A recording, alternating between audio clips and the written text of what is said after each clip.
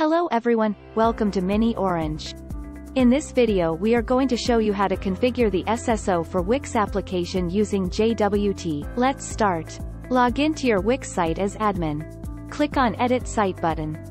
Click on the Dev Mode option. Now, click on the code file icon. Here you need to add a customized script to retrieve the required attributes from the JWT token.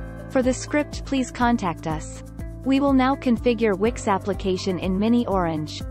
First, we will need an account with miniOrange to access the admin dashboard.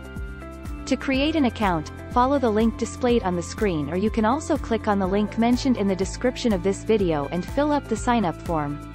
To set up your account just visit login.xecurify.com and log in using the credentials provided in the email. After login click on Apps tab. Click on Add Application button. Select application type as JWT and click on Create App button. Select Wix application from the list. Now fill in the required details like API name, description, and redirect URL. Enable the user mapping option. Click on Save button to save your details. Your application is configured successfully. Now, let's see how to verify the SSO setup via SSO login link. Click on Select and then Edit option. Copy the single sign-on URL. Go to your private window and access the single sign-on URL.